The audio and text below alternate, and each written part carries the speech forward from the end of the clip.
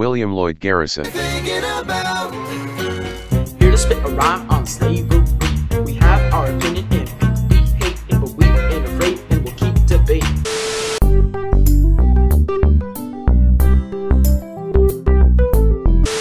William Lloyd Garrison was an abolitionist in the 1800s. That means he freaking hated slavery.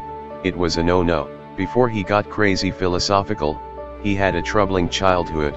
He basically was the man of his house, cause his dad decided to go out for cigarettes and never come back. He got a job at 10 years old like a badass and kept the tax collectors from noticing he was basically an orphan. Soon, he got a job writing articles, but none of them were really important until The Liberator. The Liberator consisted of William yelling a lot about how slavery was inhumane and throwing hands at the racists. Slavery sucks, he says, and some Americans think he's great, while some are dirty boys that still think that slavery is totally in right now.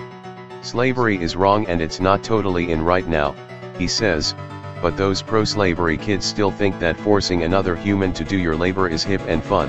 Then some lit states came together and made the American Anti-Slavery Society and Will said F it, I'm gonna be the president, and then he became the president. Slavery was abolished. Little Willie decided he's gonna ditch the American Anti-Slavery Society he's president of because it's basically useless now. Then he died, but he left a legacy that slavery sucks and racists can suck it. The end.